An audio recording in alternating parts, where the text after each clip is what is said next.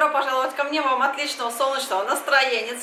Ну что, сегодня с вами приготовим очень вкусное тоже солнечное блюдо, которое подойдет и на завтрак, там, и на обед, и на ужин, и на перекус можете с собой взять, да, куда угодно, и готовится вот так вот в два щелчка. Ну что, понеслась в органим? И начинаем с грибочков, они у нас пойдут в начинку. 5-7 грибочков будет достаточно, шампиньоны режем мелким кубиком.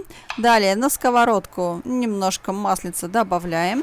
Туда теперь нарезанные грибочки и обжариваем немножко до готовности. Возьмем одну луковицу, нарежем ее также мелким кубичком или как там умеем и грибочком все это добавим. Солить, перчить не нужно, просто обжарим их практически до готовности, чтобы все это подрумянилось и было великолепно. Далее грибочки готовы. Теперь любой кусочек ветчины, колбаски, сосисок, в общем, все, что у вас там завалялось, и ваши домочадцы это не съели, взяли и также мелким кубиком нарезали. Сырок 50 грамм натерли. Теперь займемся тестом. Берем одно яйцо, тесто очень простое и легкое. 250 миллилитров кефирчика, любой процент жирности не имеет значения. А теперь соличка, одна чайная ложка и также еще добавили перчик, чесночок, там это по желанию. Перчик и соль обязательно. Чайная ложка разрыхлителя.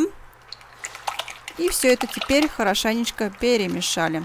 Взяли муки, 100 грамм сюда нам потребуется, и добавили теперь к тесту. Все, тесто очень легкое и простое, и оно уже практически готово. Теперь обжаренные грибочки сюда добавили в тесто. И также колбаску, ветчину, что вы туда резали, тоже сюда и побросали. Все это перемешали.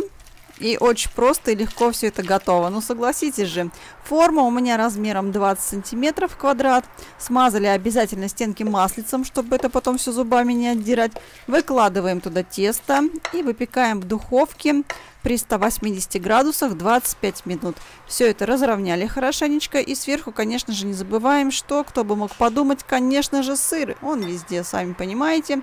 Можно его и в начинку внутрь добавить сразу.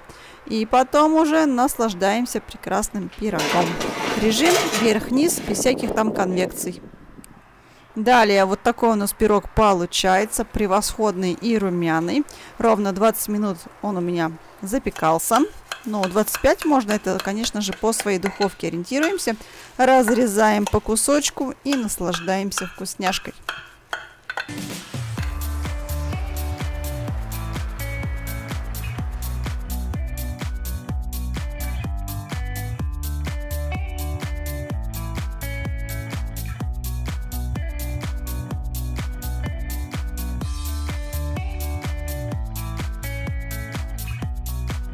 Ну что, давайте теперь отведаем всю эту прелесть, вот такую. Можно, кстати, сыра туда внутрь еще добавить, как хотите, по желанию.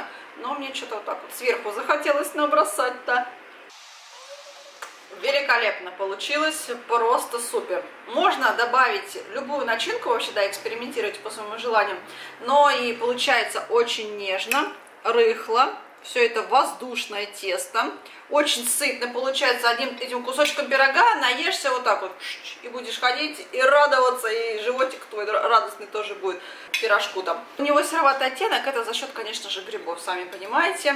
А так все тут отлично. Рекомендую, готовьте, не пожалеете. Очень вкусно получилось. Все, друзья, мы желаю вам мира и добра, прекрасного солнечного настроения. Пока, до скорой встречи.